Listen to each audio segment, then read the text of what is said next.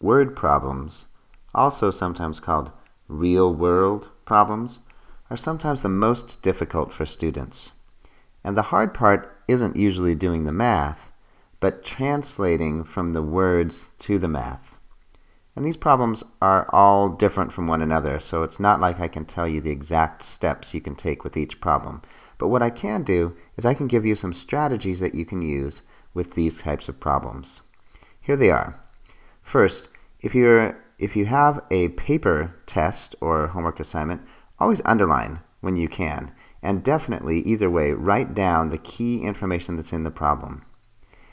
As you're doing that, figure out what the question is actually asking for. It may not be what you originally thought. And usually what you'll do is whatever that question is asking for, that's what your variable will be. Use different strategies to organize your thinking. Lots of people like to make a chart or a table or draw the situation out. It's not, um, you don't always have to do things that are just math. You can also make pictures that represent the real world, and charts and drawings are two kinds of those pictures.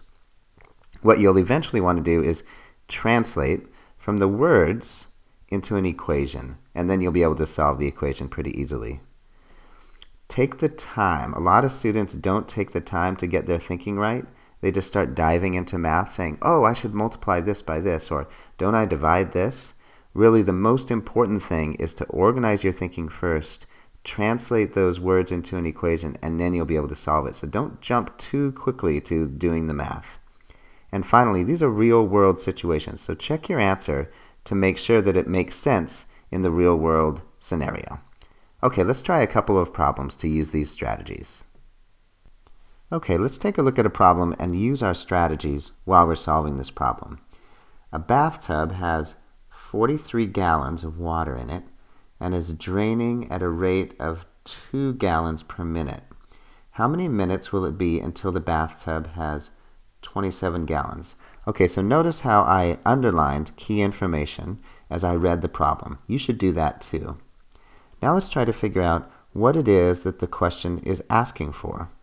Well, if we look carefully, it says, how many minutes will it be until the bathtub has 27 gallons? So what we need to do is look for minutes. And if we're looking for something that's minutes, we can use whatever variable we want. But maybe we should use t for time. So that's what the question is asking for.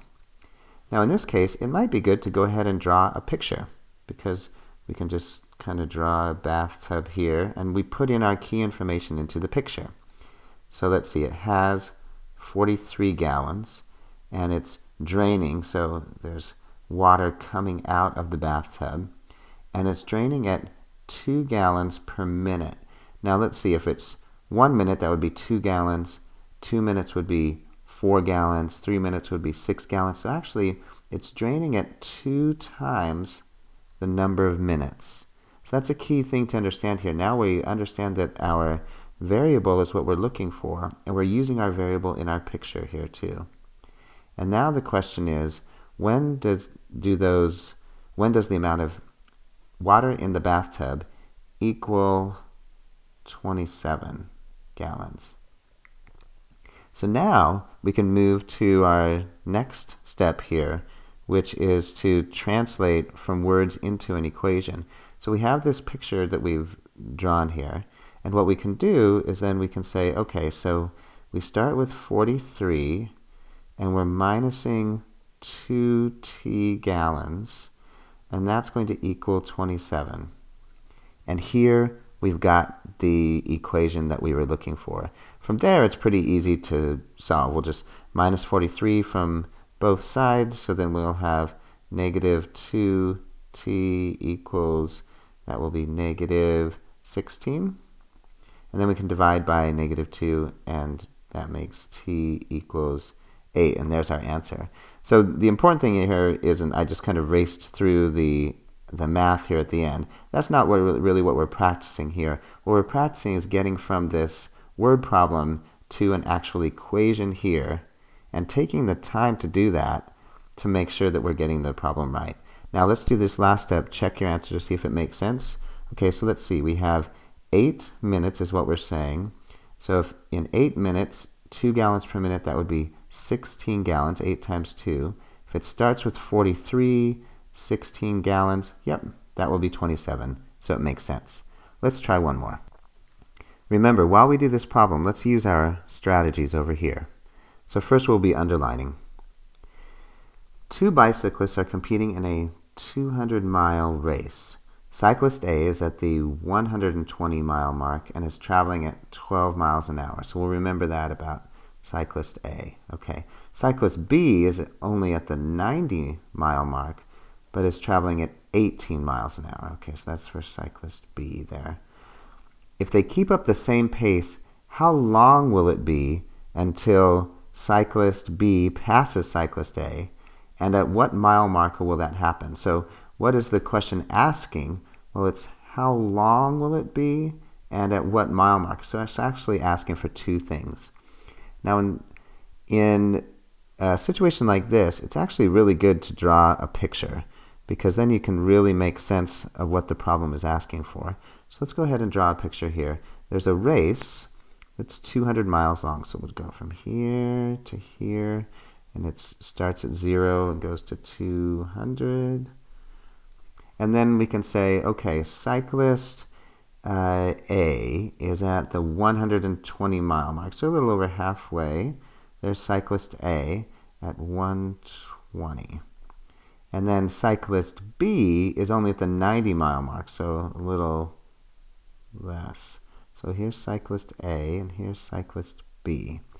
Okay, now we know that cyclist B is traveling faster at 18 miles an hour. So eventually, at some point out here in the future, they're going to pass, cyclist B is going to pass cyclist A. And what we want to know is how long will it be until that happens? And at what mile marker will that be at? So in order to think about that, one of the things we can do is we can say, okay, well, what at this point, how do we know what will that distance be for cyclist A? Well, let's see here. For cyclist A, right now we can say that cyclist A, here we're kind of making a chart too, is at 120, and um, each hour will add 12 more miles. So 120 plus 12t. Now cyclist B, where do they start? Yeah, cyclist B starts at 90 and then is every hour is adding 18 miles. So here you see we're using one of our strategies to just kind of organize our thinking with a chart here. Now, what the question is asking for is when they pass each other. And if you realize, if you think about it, they will be at the same point then. Their distance, and this is the distance of cyclist A, and this is the distance of cyclist B, then they'll be equal. So what we want to do is set these two things equal to each other. So 120 plus 12t equals 90 plus 18t. Now I'm just going to solve this really quick because what we're really practicing here is setting this up, which this is the hard part, getting from all these words to this equation right here. So if we subtract 12t from both sides, we'll get 6t on the right side, and if we subtract 90 from both sides, we'll get 30 on the left-hand side. Divide both by 6, and we get t equals 5. So what does that mean? It means in five hours, cyclist B will pass cyclist A. Let's see if that makes sense. In five hours, cyclist B here will be at 90 plus 5 times 18. Hmm, 5 times 18, what is that? Oh, that's 50 plus 40 is 90. So 90 plus 90, the, the cyclist uh, B at, um, at 5 hours will be at 180 miles. That's where cyclist B will be at the mile marker. And how about cyclist A? Well, cyclist A will start at 120, and 12 times 5 is 60, so 120. Ah, cyclist A is also going to be at the 180 mile marker. And you can see it's a little bit tricky here. What we've done is we've actually answered the second part of the question, at what mile mark will that happen, as we were checking our answer. Because we see that when cyclist B will be at 180 miles and cyclist A will be at 180 miles. That's what this um, point is over here. And they'll be there after five hours. So there are your two answers, five hours and 180 miles. Now, the key thing isn't necessarily just getting to the right answer here. The key thing is using these strategies because these word problems will always have a lot of information in them. You want to take that information, make your diagrams, um, translate from words into an equation, and then finally, take, taking the time to get it right, then do the math, which is usually the easier part, and then check your answer to see if it makes sense.